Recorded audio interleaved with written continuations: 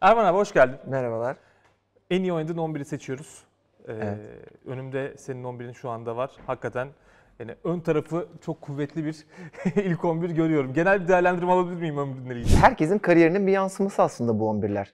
Biraz evvel Ümit abiyle çektiğini gördüm. Sevchenko yazıyor. Ben onu söylemeye artık konuşmaya utanırım ama e, benim de forvet hattım çok güçlü. Ama Anadolu kulüplerinin bir geleneği vardır. Parayı forvet hattına harcarlar. Benim kadromda da para biraz forvet hattına harcanmış, para. harcanmış gibi duruyor. Kısıtlı olduğundan değil de bizim dönemimizde Anadolu kulüplerinde işte o geri dörtlüleri biraz daha Türk ağırlıklı yapıp forvete daha kaliteli oyunculara para verip alırlardı. Ondan dolayı. Kaleciyle başlayalım Erman abi. Kalede Kalça Marskas var. Ee, şöyle Yevric'le oynadım. O da milli takımının kalecisiydi. Petkovic'le oynadım Trabzonspor'da. O da özel bir kaleciydi. Ama Karça Markas benim için hakikaten e, uzun süre beraber oynadığım en çalışkan, en refleksleri iyi kaleciydi. E, çok da istikrarlıydı. Enteresan da bir şey yaşadık onunla. İlk geldiğinde Mahmut diye bir kaleci oynuyordu bizde. İyi oynuyordu. Ve Portekizli teknik adam onu oynatmadı 6 ay. Dedi ki bu kaleci iyi oynuyor kusura bakma dedi. 6 ay bekledi ve gık demedi. Karakter olarak da çok saygılı, hani düşüncelere saygısı olan biriydi. İsyan da edebilirdi o süreçte. Edebilirdi. Yeni transferdi çünkü. Çok iyi kaleci olduğunu da hani belli antrenmanda bile çok konsantreydi. O yüzden Karça Markas benim için önemli bir profil. Savunmanın sağıyla devam edelim. Sağ tarafta, sağ bekte e, Trabzonspor'da da e, oynamış, yani büyük takım görmüş bir Emre Eren var. Evet o Galatasaray altyapısından Galatasaray zaten. Ee, bu bir çalımı vardır meşhur. Böyle bir çeker Aykut Kocaman'ın yaptığı gibi. Alır gider. O da çok dayanıklı. Top tekniği çok iyi bir oyuncuydu. Bugün günümüz futbolunda modern futbolun oyun kurucuları bekler oldu biliyorsun. O yüzden benim için de futbolun topla ilişkisi iyi bekleri çok öndedir. Emre Eren de onlardan bir tanesi. Ee, karakter olarak da ben herkesin yeteneğine bakarak değil, karakterini de işin içerisine katarak seçtim bu 11'i. Beraber iyi oynayabilecek bir 11 aslında. Evet. O ya de o ben yönde. Gaziantepspor'da oynadığımız sezonu hiç unutamam. Ha, topu Emrah'a verdiğimiz zaman rahat ederdik ya. Ha, kaybetmez çünkü doğru pası yapar. Stoperle devam edelim. Deumi. Stoper iki partneri bir tanesi Deumi. Evet bu benim takımımdaki en top tekniği sıkıntılı gibi gözüken ama agresifliği de bir o kadar fazla bir oyuncuydu. Yan toplarda çok etkiliydi. Ee, yabancı oyuncular enteresandı. Mesela prim alamıyoruz. Sesi çıkmıyor. Ver bir şişe şarabı. Akşam evine gitsin. Hiç umurunda değil. Para ödeniyor mu ödenmiyor mu falan. Öyle şeyleri hiç yoktu. O da çok iyi bir karakterdi bu arada. Düzgün bir çocuktu.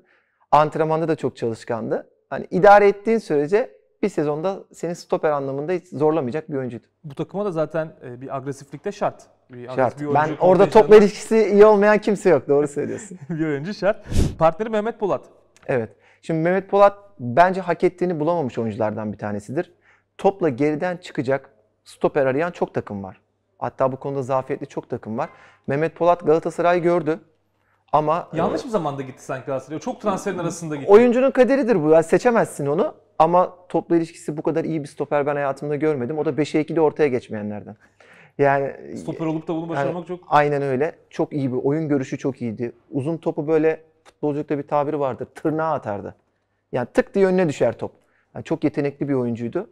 Ee, o yüzden Mehmet Polat beraber alt ligde de bir şampiyonluk yaşadık biz onunla. Elimizi kolumuzu sallaya sallaya.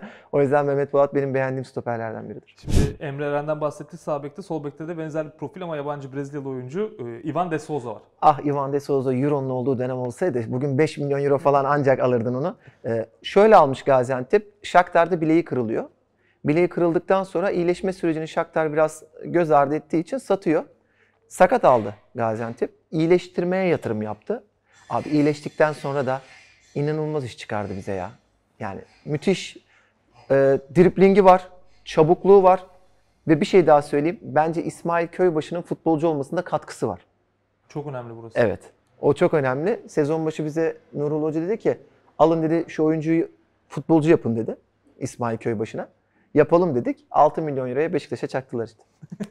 Ivan de Souza dediğin gibi belki de e, sakatlık yaşamasaydı e, belki de bu topraklara gelmeyecekti. Başka liglerde Yani izleyecekti. o zaman e, yabancı sınırlaması da vardı. O yüzden büyük paralar verip almayı düşünmediler. Ama e, mesela sol beke yatırım yapmıyorlardı büyük paralarla. Ama şimdi yabancı sayısı biraz daha fazlayken çok fazla ekmek yerdi futboldan. Bu arada orta saha oynadı bizde. Sol ön oynadı.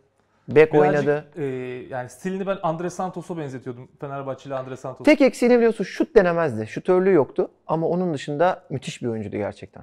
Orta sahaya geçelim Erman abi. Orta sahanın Kaliteye doğru gidiyoruz. Gel. Kaliteye doğru gidiyoruz. Hakan Bayraktar var. Evet o zaten bir maç içerisinde bugün Atiba'dan falan %90 üzerinde pas başarısından bahsediyoruz ya. O zamanlar istatistiklerin olmayışı Hakan Bayraktar'ın da değerinin yeterince anlaşılmayışına sebep oldu. Top kaybetmeden maç bitirir. Onun da çalım özelliği var. Ama en önemli özelliği top saklaması. Hani ön libero'da en garanti oyunculardan bir tanesiydi. Fenerbahçe'de de e, Fenerbahçe'yi de gördü de Fenerbahçe'de niye sağ bek oynatıldı? İşin o kısmını ona sormak lazım. Biraz tuhaf gelmişti bana. Ee, biraz onda da enteresan bir Karadeniz yapısı var kafa olarak. Ee, Antep'te oynadığımız zaman buzdolabının önünde yatardı. Uyuyamadığı için sıcaktan. Hiç unutmuyorum biliyor musun? Açıyor buzdolabının kapağını önünde yatıyordu böyle. O da arkadaşım. Doğal klima. Aynen öyle. Yani gibi. Orada sabah güneş doğmadan kalkıyorduk. İdmanı anca o zaman yapabiliyorsun. Çünkü çok sıcak olduğu Çok için. sıcak olduğu için. E, öndeki üçlünün sağında, sağ önde e, Gökdeniz Karadeniz var hakikaten. Aslında orijinal yeri değil ama yer bulabilmek için oraya attım. Pereira gibi oldum görüyor musun? Saçmalıyorum. İdare et. Yorumcu yapınca Ya, eleştiri yorumcu yapınca bir şey yok ya. Devamı yok nasıl olsa. E, Gökdeniz'de işler çok kötü giderken Trabzonspor'da altyapıdan gelip o krizi fırsata çevirmiş oyunculardan bir tanesi. Yeteneğini tartışmaya gerek yok. Akan oyunda Altay'a attığı bir gol vardır. Hayatım boyunca unutmayacağım. Böyle topu bir dipledi. Kaleciyi gördü. Top da böyle tangır tangır sekiyor. Yani yeteneksiz bir oyuncunun yapacağı iş değil. Onun da çabukluğu, dayanıklılığı. Yine aklımda kalan enteresan bir özelliği. Gündüz maçlarından önce asla yemek yemezdi. Aç karnına oynardı maçı mesela. Yemekten, maçtan sonra yemeği Tabii yiyor. biz bazen erken kalkıp kahvaltı sonra makarna Gökdeniz bir parça çikolatayla maçı oynardı. Enteresan da bir bünyesi ve güçlülüğü var. dayanıklılık çok üst seviyede. Çok üst seviyede hakikaten de. Yani e, keşke kariyerini Türkiye'de bitirebilseydi. Keşke. E, sol önde, sol ön oyuncusuyla devam edelim abi. Tabata yani e, Rodrigo Tabata o da İsmail Köybaşı ile beraber Beşiktaş'a e, transfer oldu. O Gaziantep spor takımının en önemli parçasıydı herhalde. Senin söylediğin o bazen oyuncuların yanlış zamanda yanlış yerde olmasıyla alakalı Tabata'nın durumu. Türkiye'ye gelmiş en iyi on numaralardan bir tanesi aslında ki onun kadar çalışkan bir on numaraya da rastlayamazsınız. Antrenman kalitesi de çok yüksekti. Tabii arızalıydı. Arızalı olmasa buraya gelmez. E, maçlardan sonra ne yiyip içmek istediğiyle ilgili bayağı uğraştırdı zamanında Nurul Hoca'yı. Gaziantep'te ne yemek, ne içmek problem olabilir. Vallahi her yerde istersen her şeyi yiyip içebiliyorsun biliyorsun. Ee, yabancı oyunculara çok karışmıyorlardı. Tabata da bu konuda mesela 3 gün sonra maç var. Sarhoş olmak istiyor yani. Maçlardan sonra öyle bir geleneği var adamın. Yani onu kutlayacak o. Kazansın ya da kaybetsin. Ama buna çok müsaade edilmiyordu tabii. Edilmeyince de çok kızıyordu. Gider gidişi de çok olaylı oldu Beşiktaş'a. Evet. Yani gitmek için antrenmanda kavga falan çıkarttı. Transferinin son günüydü galiba. Son günlerinde gitmiş. Tabii Beşiktaş'ın hatası. Yani bizim değil, biz aldığımız paraya baktık tabii o dönem. Hepimizin alacakları ödendi Tabata sayesinde. Onu hatırlıyorum unutmam. Tabata'yı da güzel bir şekilde tabii. Yani böyle anlıyorum, kavgayla anmıyorum en azından. Bu ikilinin ortasında yani iki forvet var. İki forvetin arkasında oynayan isim Sergen Yalçın. E şimdi Sergen abiyle beraber oynayıp başka birini yazan adam tartışırım yani bu meseleyi. Sergen Futbolla abi ilgisini tartışabiliriz. tartışırım abi. Sergen Yalçın çok büyük bir oyuncuydu. Ee, sadece antrenmana çıkması bile bir takımın seviyesini yukarıya çekebilirdi. Kulübede olması, 11'de olması, 5 dakika oynayacak olması hiç fark etmez. Sergen Yalçın kafasının arkasında gözü varmış gibi oynayan bir oyuncuydu. Top gelmeden görür hem rakibi hem atacağı yeri. Çok büyük bir kaliteydi. Bu derbiyi ben alırım derdi, alırdı. Ya bu maçı ben alırım size derdi, alırdı. İşte yarışı tutturmasını bekliyorduk. Tutturunca iyi gidiyordu her şey. Moral motivasyon yüksek olunca değil mi? Evet. Biraz Yani şöyle bizde bizde geçici bir dönem oynadığı çok belliydi. Kafasında o vardı. Sonra döndü Beşiktaş'a gitti zaten.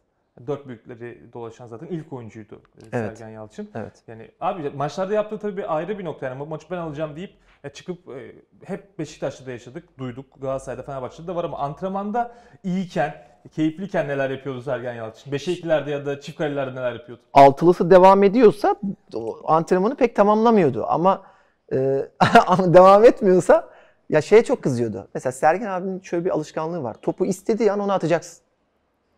Atmadın mı küsüyor. Antrenmanı yapmıyor ondan sonra. Bırakıyor. O yüzden biz gördüğümüz an atardık. Atmayan var mıydı takımda? Öyle bir denk Gök. Gökdeniz atmıyordu. Gökdeniz atmıyordu. Ona çok kızıyordu falan.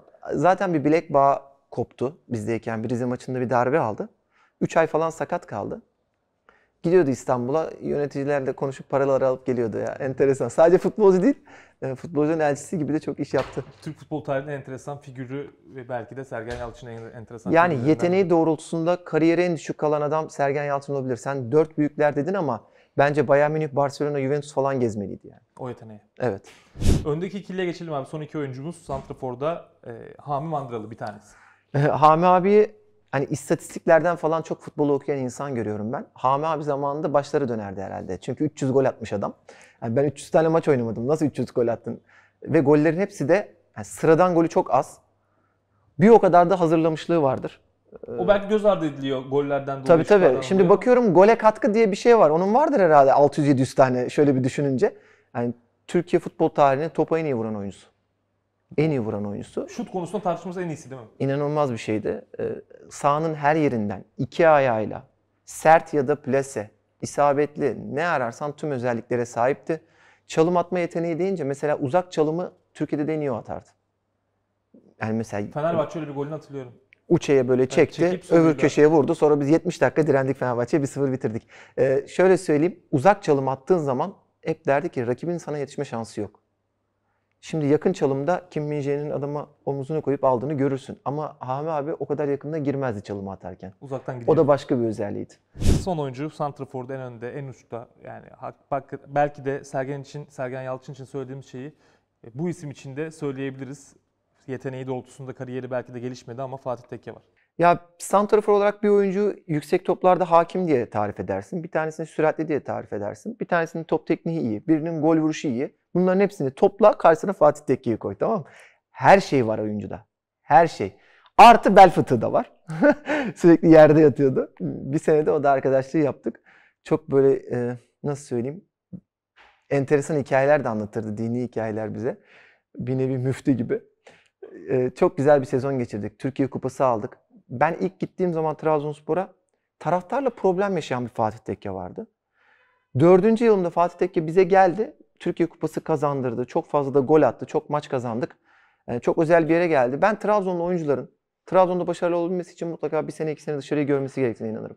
Dönüp daha çok başarılı. Döndüğü zaman dünyaya bakışı, futbola bakışı, taraftarın ona bakışı her şey değişiyor. O yüzden ben Fatih Tekke'nin gelişimini o şekilde de gördüm. Zaten bizden gitti Antep'te de şampiyonluğa oynadı. Yani o da değerini bulamamış santraforlardan. Zaten benim takımım değerini bulamamış bir takım. Onu idare etsinler.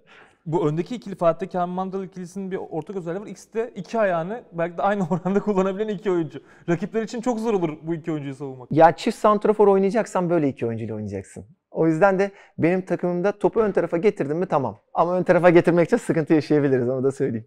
Abi ağzına sağlık. Teşekkür ediyorum. İzleyenlerimize de teşekkür ederiz. Yorumlarını videonun altında bekliyoruz.